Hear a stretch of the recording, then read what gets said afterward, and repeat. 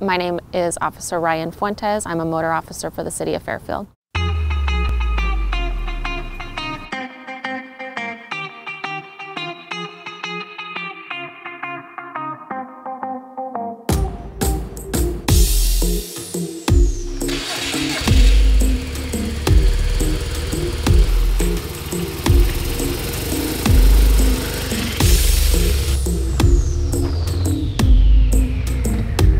Currently, we have five assigned motor officers and one assigned motor sergeant.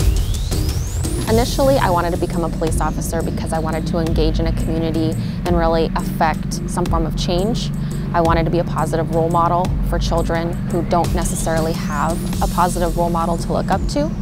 I started noticing that I saw the most change within my community during traffic enforcement with educating the community and being somebody they could visibly see out on the roadways. And that's why I decided to move towards traffic as my full-time position here versus patrol.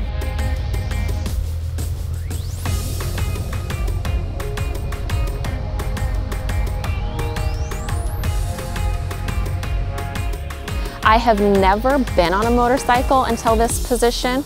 However, I did grow up um, riding ATVs and dirt bikes, but not any street motorcycles. This is a first for me. We have to have a little bit thicker skin.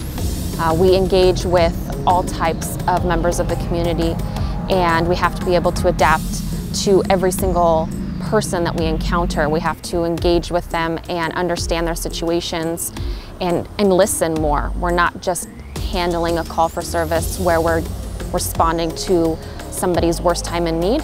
Uh, we're engaging people who are on their way to the grocery store or have been, you know, possibly coming from soccer practice. Being a motor officer, you have to be more aware of what's going on around you at all times. We don't have the protection of a vehicle and the community doesn't see us as well.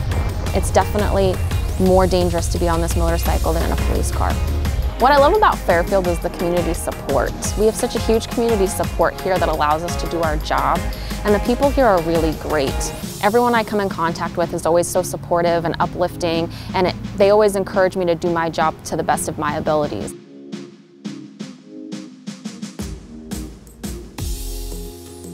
To be the first female motor for the city of Fairfield is quite an honor. I honestly didn't realize I was the first female motor until it happened, but I've gotten so much support and encouragement from those around me that it just puts me in a place where I know I'm gonna succeed. I'm putting my stamp on something here in the city and I'm really pushing myself to set a mark and a benchmark for those around me um, and to encourage other female officers within the community or those around me to reach for goals within their communities that may be something they didn't think they could reach or go for or has been a staple for, for others.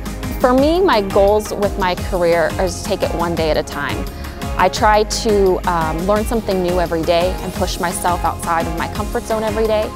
And at this point in my career, I'm focusing on being a motor and being the best motor officer that I can be and learning as much as I possibly can.